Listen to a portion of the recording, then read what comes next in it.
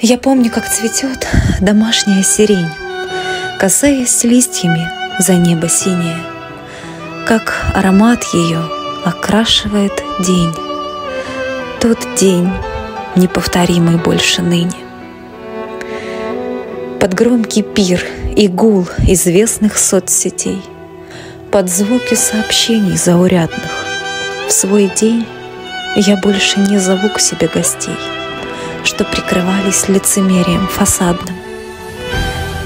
Вокруг все пляшут, и чем громче звуки пира, чем ярче и красноречивее краски, тем тише.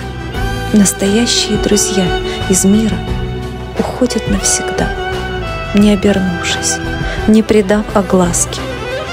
Давно не видела, как дома распускается сирень, но в памяти моей пускай она благоухает вечно за тех, кто не допил свой чай и не дожил свой день, свернув с дороги жизни, отправился в путь млечный.